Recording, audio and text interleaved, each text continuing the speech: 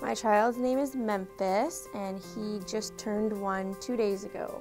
Memphis is diagnosed with Goldenhar syndrome. My son's name is Jules Auger and he's two years old. Jules doesn't have a diagnosis yet. His only diagnosis so far is hypotonia. So the Grow With Me group is intended for um, infants and young children. Um, we have um, young babies in the group, so some children who are just sort of starting off their life, um, all the way up to children who are about three or four years old. And it's typically children who have um, multiple needs, so the need of multiple therapies. So to be able to describe to somebody who's never heard of Goldenhar syndrome, it's basically, I would just say like, he has a genetic abnormality that simply um, affects the facial features and the, some of the major organs. I would describe Jules' diagnosis hypotonic as low muscle tone, like floppy baby syndrome. So his muscles don't contract like another child would, so he has a hard time sitting, standing, supporting himself, swallowing. As Memphis's parent, we had to face a lot of struggling and not so struggling things. Like he's had, in his first year, he's had a lot of surgeries. He's had a lot of pokes and picks and we have had to go through a lot of we we go through a lot of hospitalizations and a lot of trips back and forth to sick kids and trips to Thrive every week and um, it's quite a lot but um, we do it and because of Thrive being here when we're here we've been able to thrive. The thing I love the most about Memphis is even though he's gone through so much already in his first year, he's always happy and he's always ready in the morning to just go about his day. And like he's, because he's been through so much, I love that he's always just, he forgets about it almost. We have a lot of appointments, a lot of doctor's appointments, physio appointments, occupational therapy appointments, speech therapy appointments. So there's a lot that I didn't even know myself that was going to go on until it actually happened to us. So the Grow With Me therapy group was started here at Thrive as a way to um, allow our families to interact with each other and also to interact with the therapists um, in order to achieve their therapy goals um, in a group setting. Um, so it's a group that we run here um, with young children and their families and we work on their therapy goals in a group setting. The Grow With Me group is facilitated by the therapists here at Thrive. So we have a speech language pathologist, a physiotherapist, and an occupational therapist. We also have the involvement of our therapy assistants. Um, so we run the group together.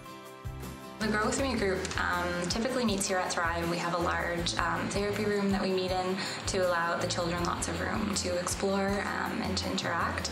We also tend to run um, one group sort of out of every session out in the community at one of the early Ontario Best Start hubs.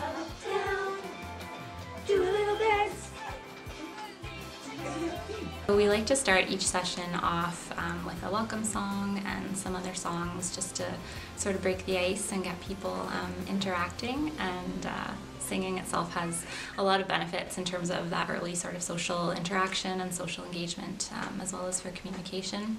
We've done a session on tummy time. Um, we sometimes will do a session based on feeding. Um, we might have a session on early play, literacy, different topics. So we usually spend some time um, talking about each topic each week. We usually have lots of toys available so that we can um, play with the kids and work on their goals. And usually we also like to allow some time for the parents to ask questions, so ask questions from each other and ask questions of the therapists in each session. That's an important part of the session as well. Grow With Me has allowed me to kind of look on the positive side of things and knowing that if I'm ever struggling that I'm able to quickly connect with somebody or sit down and ask a question that other people have might have already gone through or even bring up points that parents might not have went through yet and kind of help others as well. It means a lot um, to me as a parent to have a group like this because We are so used to being at Sick Kids in Toronto and then coming back to such a small town compared to that.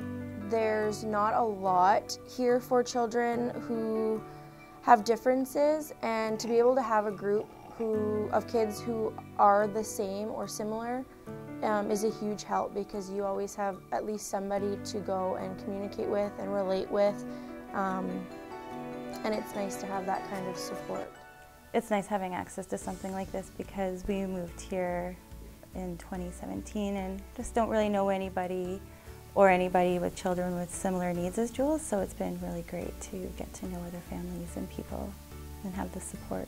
I don't know what's out there and I don't know what we need because we don't have a diagnosis, so it's been like really Thrive is one of the only places that we do come because we pretty much have everything here so far that we do need.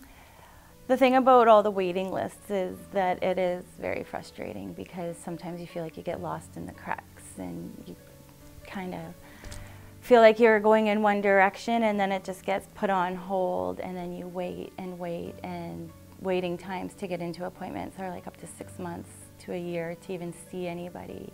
And I find it very frustrating because he's so young and not having a diagnosis and getting put on wait lists for things, I feel like sometimes maybe it's not good for his development because we're losing time.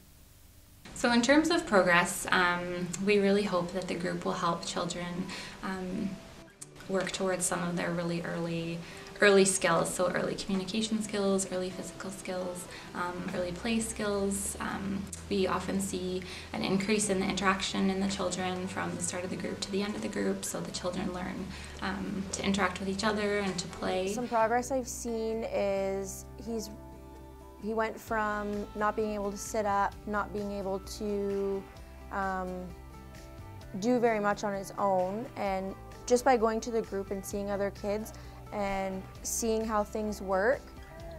Um, he is now sitting up on his own, he stands up on his own, he does a lot of things on his own from just being around other children who are trying to do it and seeing how it works. Some of our goals for Jules attending here is to make new friends, interact, and just learn some new ways to cope with his condition for home. Since Jules started attending Grow With Me, he's been a lot more social when he's playing with other kids. And he's just getting like stronger and happier and just likes being in the group.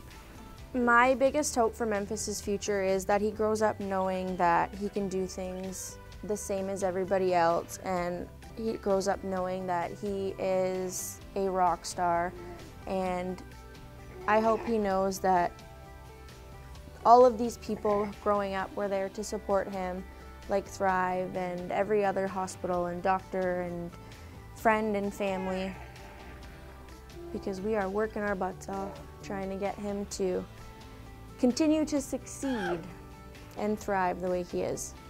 So this group, um, I love running it. I love seeing the interactions with the families, seeing the children interact with each other, um, seeing those relationships built between the parents, um, hearing them ask each other questions. A lot of times you hear um, parents thinking that they're maybe the only ones who have to deal with these types of situations and learning that there's other parents out there who are experiencing the same things that they are. So it's great to see that rapport building. Um, I also find it um, a great way to target my therapy goals in the group setting because, like I said, you get that, that social interaction. Um, so it's been a great opportunity to, to see some of these young children and to see them to see them grow and to enhance their skills in a group setting.